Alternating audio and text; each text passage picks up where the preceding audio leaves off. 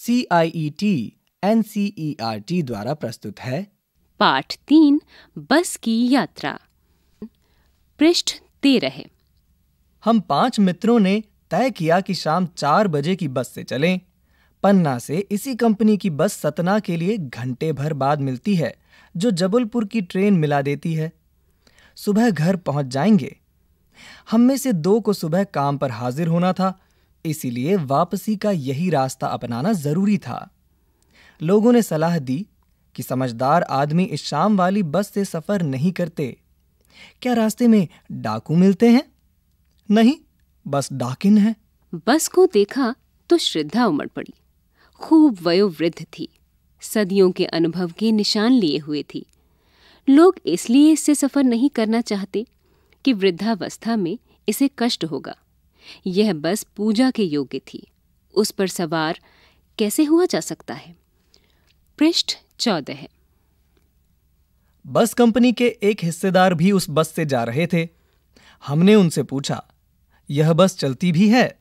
वह बोले, चलती क्यों नहीं है जी? अभी चलेगी। हमने कहा, वही तो हम देखना चाहते हैं। अपने आप चलती है यह? हाँ जी, और कैसे चलेगी? गजब हो गया। ऐसी बस अपने आप चलती है। हम आगा पीछा करने लगे। डॉक्टर मित्र ने कहा, डरो मत, चलो, बस अनुभवी है। नई नवेली बसों से ज़्यादा विश्वसनीय है। हमें बेटों की तरह प्यार से गोद में लेकर चलेगी। हम बैठ गए। जो छोड़ने आए थे, वे इस तरह देख रहे थे जैसे अंतिम विदा दे रहे हैं। उनकी आँखें कह रही थीं आना जाना तो लगा ही रहता है। आया है, सो जाएगा। राजा रंग फकीर। आदमी को कूच करने के लिए एक निमित्त चाहिए। इंजन सचमुच स्टार्ट हो गया। ऐसा जैसे सारी बस ही इंजन है, और हम इंजन के भीतर बैठे हैं। कांच बहुत कम बचे थे। जो बचे थे, उनसे हमें बचना था। हम फ़ौरन खिड़की से दूर सरक गए। इंजन चल रहा था। हमें लग रहा था कि हमारी सीट के नीचे इंजन है। पृष्ठ पंद्रह। बस सचमुच चल पड़ी और हमें लगा कि यह गांधी जी के असहयोग और सविनय अवज्ञा आंदोलनों के वक्त अवश्य जवान रही होगी। उसे ट्रेनिंग मिल चुकी थी। हर हिस्सा दूसरे से असहयोग कर रहा था। पूरी बस सविनय अवज्ञा आंदोलन के दौर से गुजर रही थी। सीट का बॉडी से असहयोग चल रहा था। कभी लगता सीट बॉडी को छोड़कर आगे निकल गई है? कभी लगता कि सीट को छोड़कर बॉडी आगे भागी जा रही है। आठ दस मील चलने पर सारे भेदभाव मिट गए। यह समझ में नहीं आता था कि सीट पर हम बैठे हैं या सीट हम पर बैठी है। एकाएक बस रुक गई। मालूम हुआ कि पेट्रोल की टंकी में छेद हो गया है। ड्राइवर ने बाल्टी में पेट्रोल निकालकर उसे बगल में रखा और नली डालकर इंजन में भेजने लगा। अब मैं उम्मीद कर रहा था कि थोड़ी देर बाद बस कंपनी के हिस्सेदार इंजन को निकालकर गोद में रख लेंगे और उसे नली से पेट्रोल पिलाएँगे, जैसे माँ बच्चे के मुँह में दूध की शीशी लगाती है। बस की रफ्तार अब पंद्रह बीस मील हो गई थी। मुझे उसके किसी हिस्से पर भरोसा नहीं था। ब्रेक फेल हो सकता है, स्टीयरिंग टूट सकता है। प्रकृति के दृश्य बहुत लुभावने थे। दोनों तरफ़ हरे भरे पेड़ थे, जिन पर पक्षी बैठे थे। मैं हर पेड़ को अपना दुश्मन समझ रहा था। जो भी पेड़ आता, डर लगता कि इससे बस टकराएगी। वह निकल जाता तो दूसरे पेड़ का इंतज़ार करता। झील दिखती तो सोचता कि इसमें बस गोता लगा जाएगी। एकाएक फिर बस रुकी। ड्राइवर ने तरह तरह की तरकीबें की, पर वह चली नहीं। सविनय अवज्ञा आंदोलन शुरू हो गया था। कंपनी के हिस्सेदार कह रहे थे, बस तो फ़र्स्ट क्लास है जी, ये तो इत्तेफाक की बात है। क्षीण चांदनी में वृक्षों की छाया के नीचे वह बस बड़ी दयनीय लग रही थी। लगता जैसे कोई वृद्धा थक कर बैठ गई हो। हमें ग्लानी हो रही थी कि बेचारी पर लद कर हम चले आ रहे हैं। अगर इसका प्राणांत हो गया तो इस बियाबान में हमें इसकी अंत्येष्टि करनी पड़ेगी। पृष्ठ सोलह। हिस्सेदार साहब ने इंजन खोला और कुछ सुधारा। बस आगे चली। उसकी चाल और कम हो गई थी। धीरे धीरे वृद्धा की आँखों की ज्योति जाने लगी। चांदनी में रास्ता टटोलकर वह रेंग रही थी। आगे या पीछे से कोई गाड़ी आती दिखती तो वह एकदम किनारे खड़ी हो जाती और कहती, निकल जाओ बेटी, अपनी तो वह उम्र ही नहीं रही। एक पुलिया के ऊपर पहुँचे ही थे कि एक टायर फिस करके बैठ गया। वह बहुत ज़ोर से हिलकर थम गई। अगर स्पीड में होती तो उछलकर नाले में गिर जाती। मैंने उस कंपनी के हिस्सेदार की तरफ़ पहली बार श्रद्धा भाव से देखा। वह टायरों की हालत जानते हैं, फिर भी जान हथेली पर लेकर इसी बस से सफ़र कर रहे हैं। उत्सर्ग की ऐसी भावना दुर्लभ है। सोचा इस आदमी के साहस और बलिदान भावना का सही उपयोग नहीं हो रहा है। इसे तो किसी क्रांतिकारी आंदोलन का नेता होना चाहिए। अगर बस नाले में गिर पड़ती और हम सब मर जाते तो देवता बाहें पसारे उसका इंतज़ार करते। कहते, वह महान आदमी आ रहा है, जिसने एक टायर के लिए प्राण दे दिए। मर गया, पर टायर नहीं बदला। दूसरा घिसा टायर लगाकर बस फिर चली।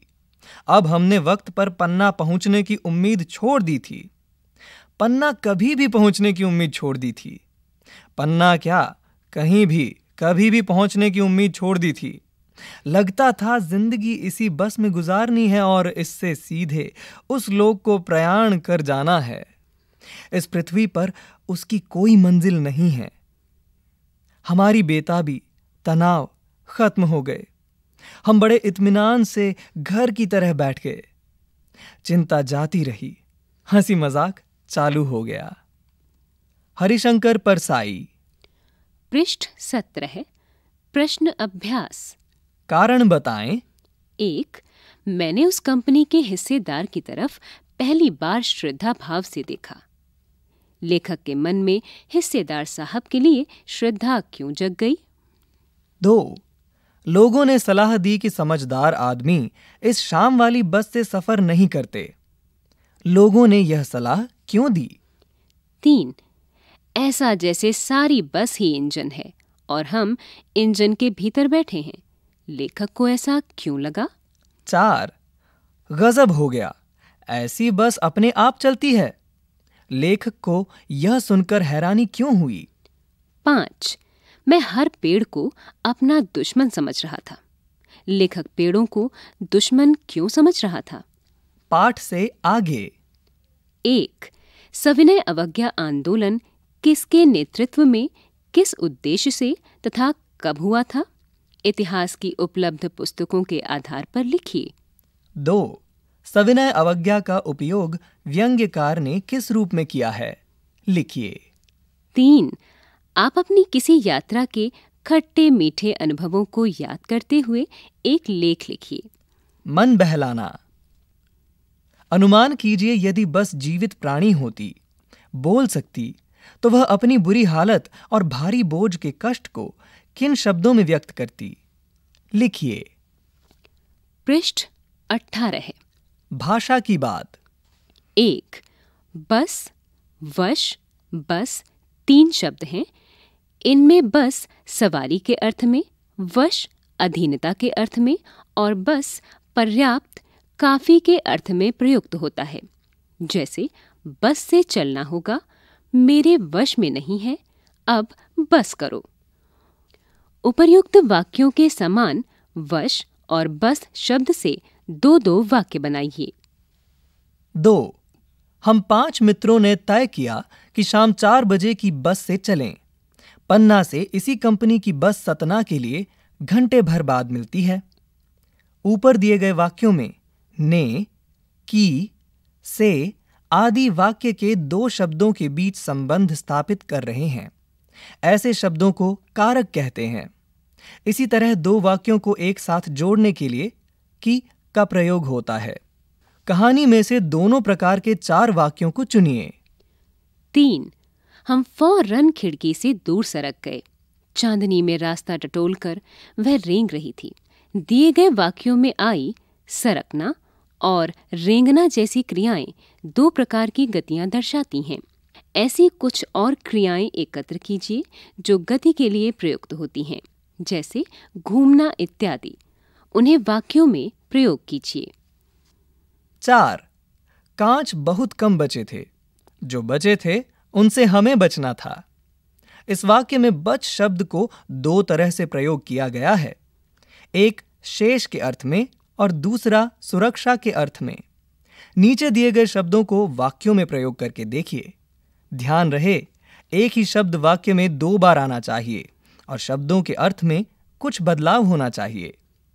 क, जल। ख, हार। पाँच बोलचाल में प्रचलित अंग्रेज़ी शब्द फ़र्स्ट क्लास में दो शब्द हैं फ़र्स्ट और क्लास यहाँ क्लास का विशेषण है फ़र्स्ट चूँकि फ़र्स्ट संख्या है फ़र्स्ट क्लास संख्यावाचक विशेषण का उदाहरण है। महान आदमी में किसी आदमी की विशेषता है महान। यह गुणवाचक विशेषण है। संख्यावाचक विशेषण और गुणवाचक विशेषण के दो दो उदाहरण खोजकर लिखिए। पृष्ठ 19 शब्दार्थ निमित्त। कारण साधन। गोता। डुबकी लगाना। इत्तफाक। संयोग। बियाबान। जंगल उजाड़ खंड। अंत्येष्टि। मृतक कर्म दाह कर्म। प्रयाण। प्रस्थान मरना। बेताबी। बेचैनी। अभी आप सुन रहे थे पाठ तीन बस की यात्रा। प्रस्तुति C I E T N C E R T नई दिल्ली भारत।